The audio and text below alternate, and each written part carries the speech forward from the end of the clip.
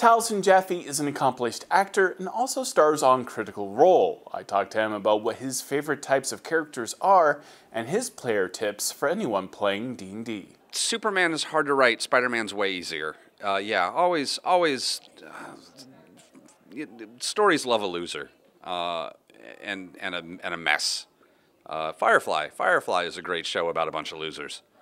They're they're they're the winners are not fun in Firefly. It's the losers that are fun in Firefly. Uh, that, and and he wins and he does okay and he's he makes bad decisions and all of them make all of them.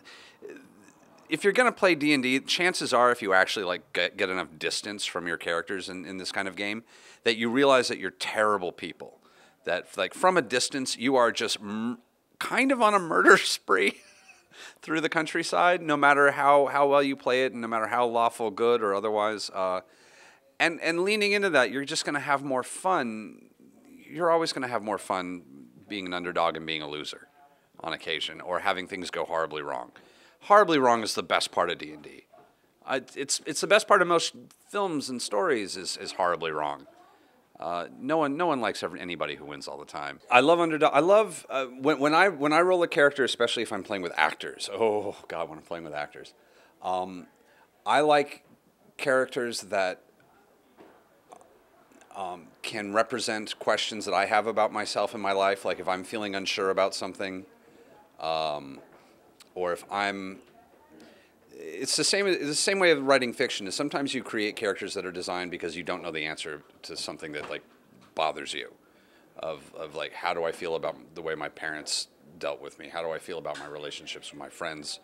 How do I feel about I, I go through a breakup. How do I feel about that breakup? And I'm going to write something. Somebody who's gets to go through a story to figure that out. And and let Percy went through a story to figure a bunch of stuff out that, that some of which I already kind of knew, but some of which I didn't really know where it was gonna where the story was gonna take it and where that information was gonna lead him and what kind of either happiness or unhappiness he was gonna find at the end of it. And and as long as as, as long as you're not sure about every, anything, that's always a good character in, in your uncertainty. My my my favorite my favorite I would say is like don't know don't know the ending of your don't have an ending for your character. Write a character who doesn't have an ending yet. Write a character who asks a really big question, whose whose life and presence is a really big question, and you may find an answer, but don't have one on deck, because then it's not really that great of a question, is it? You already everyone already knows what two plus two is. Uh, find find something new. Find something. There's always an unanswered question, and there's always something nagging, and you don't have to know where it's going. You'll, you'll get there. It's, it's what story is. I have. I live in LA where we are. It's a city made of aspirations, and some of them are, are designed to be eaten by others so that they can maintain their youth, and some are designed to blossom into beautiful creatures. There's tons of aspirations, but this is a wonderful. I'm. I'm so proud of this and pleased with this. This is. It's hard not to feel anything other than great love and happiness that this is a thing. I'll say uh, in, in LA, in like the nerd culture of Los Angeles, where where where we sort of incubated, um, there's always been a nice little pocket of, of tabletop players and D and D kids who are also of the opinion that this didn't have to be weird and we could be we could be fun and nerdy and popular and fun and going out dancing and then going and playing board games and, and doing you can do everything you don't have to limit yourself and i and we also always had the drama kids involved. So there was, well, not every game was a. I know there's role play heavy games, and then there's the there's the the, the technical heavy games, and even I love a good like Warhammer 40k game every now and then, where I just want to move a hundred really beautiful miniatures across a board and like lay waste through the power of math and math alone.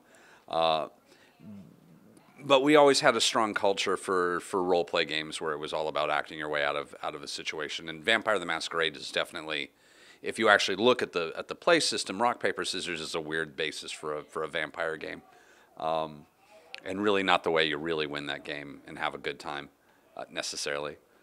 Uh, but I'm glad that because of this weird internet thing that came out of nowhere, where like Twitch suddenly happened, and we had this great avenue for for sharing this game and I'm still sort of surprised it worked, that people who wouldn't have thought of playing Dungeons and Dragons because of its reputation and because of the way that it has often been portrayed, which I don't think is a fair representation necessarily, born of a, a weird confluence of events where it was used as such a weird shorthand in fiction for so long for, for socially maladjusted people.